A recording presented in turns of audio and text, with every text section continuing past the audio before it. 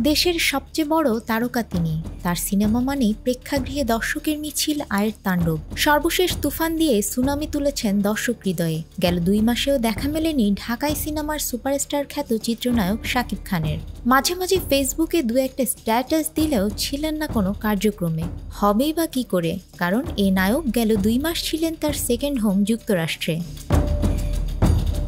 যখন দেশে ফিরলেন, চেনাটাই হয়ে গেল দায়। মুখ ভর্তি দাড়ি পরে আছেন ক্যাপ, চোখে আবার রোদ চশমা। ঠিক এভাবেই হজরত শাহজালাল আন্তর্জাতিক বিমানবন্দরে সেলফিতে ধরা দিলেন। আর এটি তুলেছেন সিনেমার একসময়ের আলোচিত সমালোচিত নায়ক আলেকজান্ডার বো। বৃহস্পতিবার সকালে ঢাকায় পা রাখেন শাকিব খান। বিমানবন্দরে আলেকজান্ডার বোর সঙ্গে দেখা হয় তার। সেখানে শাকিবের সঙ্গে সেলফি তুলেন তিনি।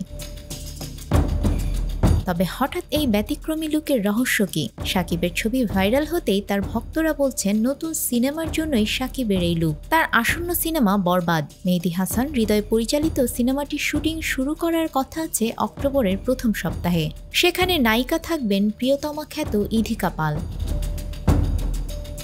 এর আগে প্রিয়তমা সিনেমাটিতে জুটি হয়ে কাজ করেছেন তারা। জানা গেছে প্রায় পনেরো কোটি টাকা বাজেটে নির্মাণ করা হবে বরবাদ। অ্যাকশন ভায়োলেন্স ধাঁচের সিনেমাটির আশি শতাংশ শুটিং হবে দেশের বাইরে। এর অ্যাকশন দৃশ্য পরিচালনা করবেন মুম্বাইয়ের রবি বর্মা।